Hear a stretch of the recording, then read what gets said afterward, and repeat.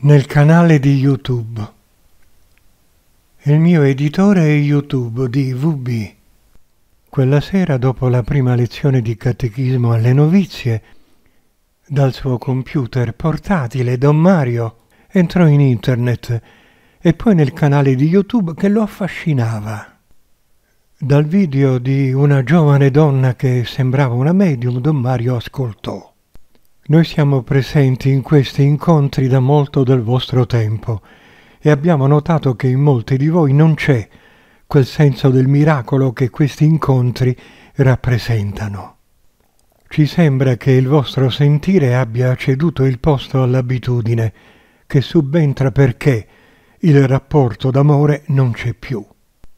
Quando si instaura un rapporto d'amore fra due individui, siano essi incarnati o disincarnati, esso non può essere soggetto all'abitudine, che è un sentimento che si ripete sempre uguale. Voi invece sapete, creature, che ognuno di voi si trasforma minuto dopo minuto, e perciò chi vi è accanto, se davvero vi ama, troverà sempre qualche cosa di diverso in voi, scongiurando l'abitudine.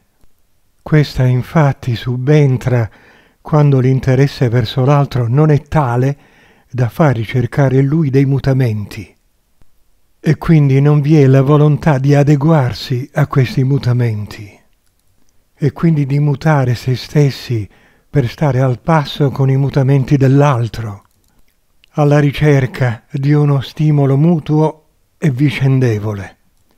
Questo accade per la grande maggioranza delle creature. Per altre creature invece l'abitudine sorge anche se esiste un vero rapporto d'amore. In questo caso però non è abitudine ma paura di doversi mostrare per come si è, paura di dover dare e non soltanto di poter prendere, paura di guardare in faccia la propria realtà. A questo punto l'individuo si cristallizza in una situazione, aspetta che le cose passino e un po' alla volta si lascia andare. Questo accade anche negli incontri con noi guide ed è naturale che accada, ma è anche compito nostro rompere i cristalli quando si formano. Quindi figli e fratelli, non vi preoccupate. Chi davvero in questi incontri sente il senso del miracolo e trova in sé la forza per rinnovarlo ogni giorno, troverà in sé non più cristalli ma perle. Chi invece si aggrapperà ai cristalli verrà esso stesso trasformato in cristallo e resterà lungo la strada ad aspettare un'occasione che, come già dicemmo, forse sarà restituita come un talento minore o più probabilmente come un talento che dovrà essere riconquistato.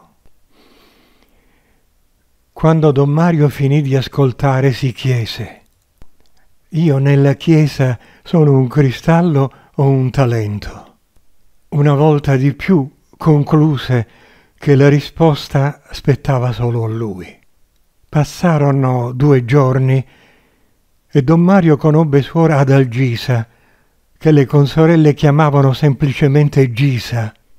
Il primo giorno del corso la sorella Gisa è stata assente e giustificata, lo aveva informato la madre superiora. Suor Gisa attendeva con ansia di conoscere don Mario. Sperava che fosse il salvatore della sua vocazione.